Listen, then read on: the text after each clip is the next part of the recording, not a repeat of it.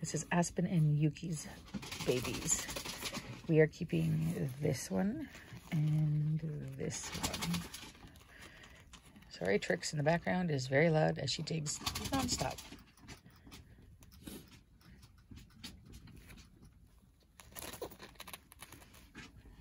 There's